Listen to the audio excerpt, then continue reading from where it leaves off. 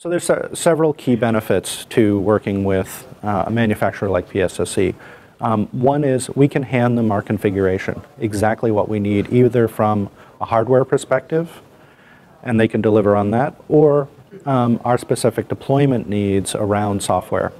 We receive our servers configured the way we want them. So we plug in the server, it has our operating system image on it, it has our uh, network set up on it, and we can start to use that server on day one.